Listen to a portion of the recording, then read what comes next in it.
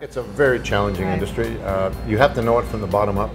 You know, to come into it and be an investor because you, you like the vibe of a restaurant or you want it to be your private restaurant, typically 99% of the time it's a disaster. If you're a chef, if you're a front of the house person, you have wine knowledge, you have production knowledge, you need to have those skills. You can't just go to the street and hire. Right. Those people don't really exist.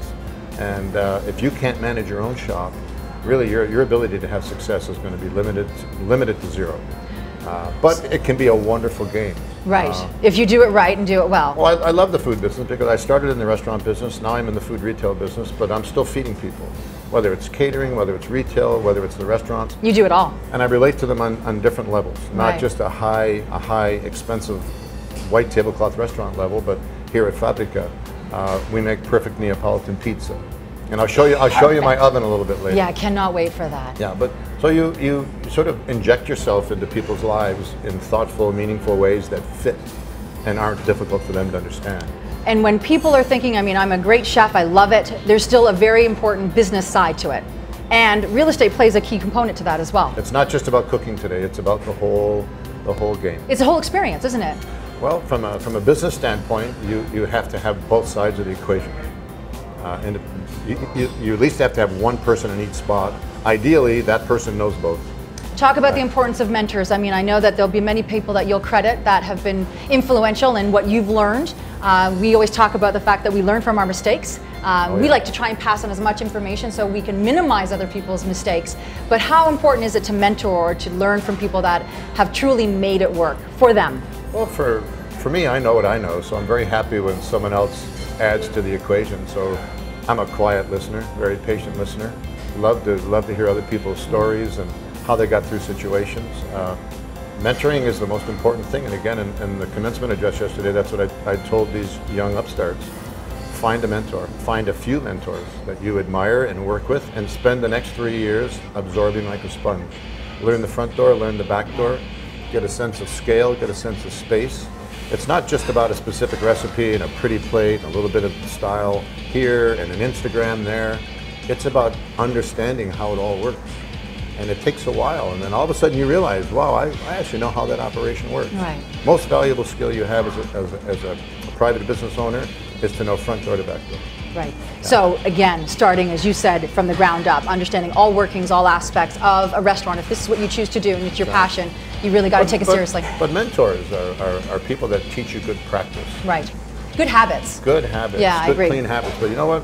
Most, most of the strongest characteristics you need in business are really simple. You need to be kind to people, you need to be motivational with people, you need to be thoughtful in terms of how you message, you need to be consistent in how you message, and you need to be exact. And there's no science to that. It's, it's pretty obvious Yeah, but I love right? how you put it. Yeah. Yeah, see, so nice people, like you really should get ahead. It's an important thing. Yeah, you don't have just to be poke nice. people in the head Be all the nice, time. right? Like just smile. It makes such a difference. And you always smile because honestly, you love what you do, and that's key. You have to do something you love.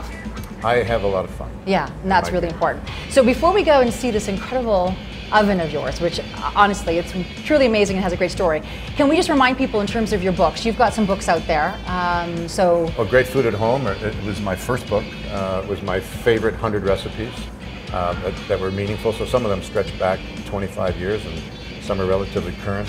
Fabbrica is, is a representation when we opened the restaurant, we recipeed every single dish we did, and we did a book at exactly the same time. So we, we opened the restaurant and did a book, and they, and they popped out at exactly the same moment. and they're so, so good. But let's head over and see that incredible oven. Yeah, it came All all the way from Naples. Yeah, there we go. Let's do it.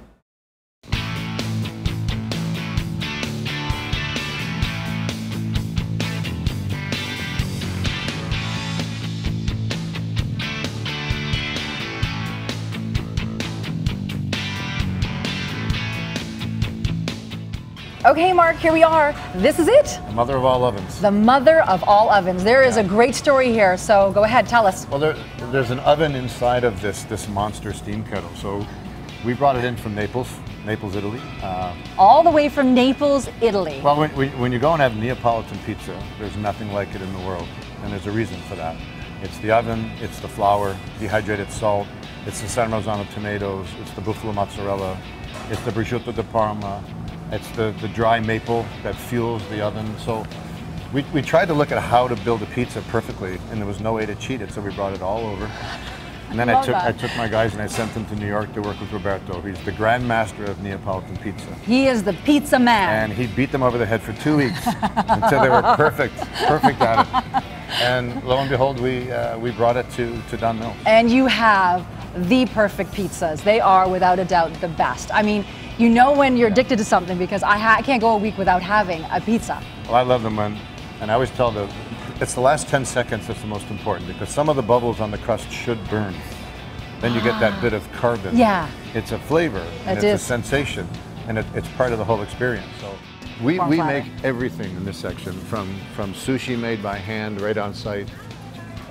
Everything on our hot counter is made upstairs and brought down. Everything in our case is made here.